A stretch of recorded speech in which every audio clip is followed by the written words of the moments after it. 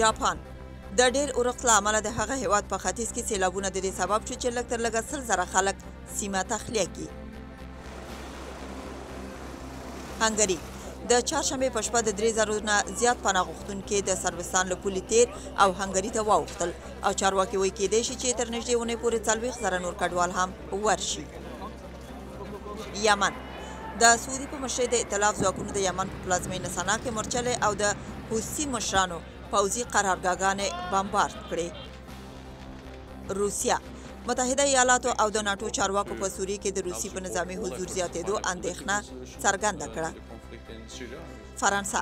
د اقلیمي بدلون اړوند مخکښه مشران د دسمبر په میاشت کې اړوندې غونډه کې په یوې موافقې ټینګار کوي او وایي چې بیا به کیدای شي د عمل کولو لپاره ډیر ناوخته شوی وي.